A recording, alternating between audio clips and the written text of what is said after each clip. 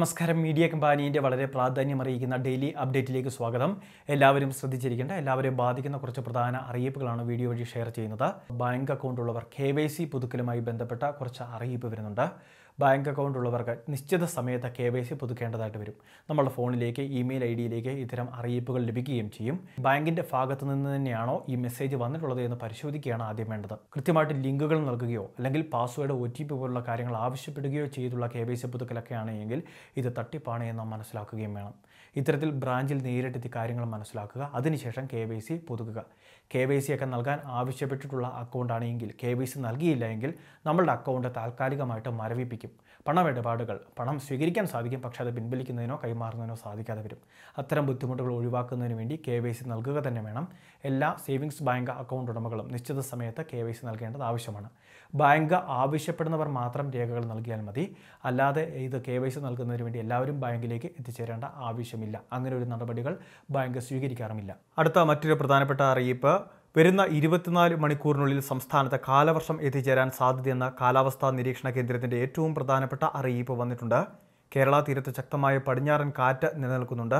ഇതിന്റെ ഫലമായി കേരളത്തിൽ അടുത്ത ഏഴ് ദിവസം വ്യാപകമായി ഇടി മിന്നൽ കാറ്റ് എന്നിവയോടുകൂടിയ ഇടത്തരം മഴയ്ക്ക് സാധ്യതയുണ്ടെന്നാണ് കാലാവസ്ഥാ നിരീക്ഷണ കേന്ദ്രത്തിന്റെ അറിയിപ്പ് വന്നിട്ടുള്ളത്. ഒറ്റപ്പെട്ട സ്ഥലങ്ങളിൽ ബുധനാഴ്ച അതിശക്തമായ മഴയ്ക്കും മെയ് ഇരുപത്തിയൊൻപത് മുതൽ ജൂൺ രണ്ട് വരെ ശക്തമായ മഴയ്ക്കും സാധ്യതയെന്നാണ് കേന്ദ്ര കാലാവസ്ഥാ വകുപ്പിന്റെ അറിയിപ്പ് വന്നിട്ടുള്ളത്. മറ്റൊരു പ്രധാനപ്പെട്ട അറിയിപ്പ് സംസ്ഥാനത്ത് വൈറൽ പനി ഡെങ്കിപ്പനി മഞ്ഞപ്പിത്തം ഇങ്ങനെയുള്ള വിവിധ രോഗങ്ങൾ ഇപ്പോൾ പടരുകയാണ്. അതീവ ജാഗ്രതാ നിർദ്ദേശമാണ് ഇപ്പോൾ നമ്മുടെ സംസ്ഥാനത്ത് ആരോഗ്യവകുപ്പ് സംസ്ഥാന സർക്കാർ ഉൾപ്പെടെ നൽകുന്നത്.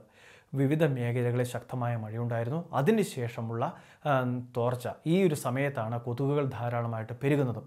ഈ സാഹചര്യത്തിലാണ് കർശന ജാഗ്രതാ നിർദ്ദേശം നൽകുന്നത്. അതോടൊപ്പം തന്നെ വ്യക്തിശുചിത്വവും പരിസര ശുചിത്വവും കൃത്യമായിട്ട് പാലിക്കണമെന്നുള്ള മുന്നറിയിപ്പ് ഈ സമയത്ത് നൽകുന്നുണ്ട്.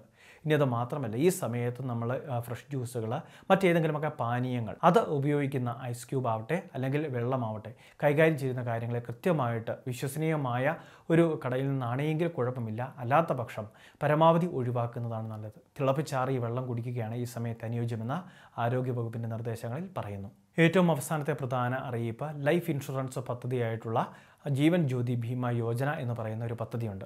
കേന്ദ്ര സർക്കാരിന്റെ നേതൃത്വത്തിൽ നമ്മുടെ രാജ്യമെമ്പാടും നടപ്പിലാക്കുന്ന പദ്ധതിയാണിത്. ഇതിൽ പലരും ബാങ്ക് അക്കൗണ്ടുള്ള പലരും അംഗത്വം എടുത്തിട്ടുള്ളവരാണ്. ഇവരുടെ പുതുക്കലുമായി ബന്ധപ്പെട്ട അറിയിപ്പുകൾ ഫോണിലേക്ക് എത്തിച്ചേർന്നിട്ടുണ്ട്.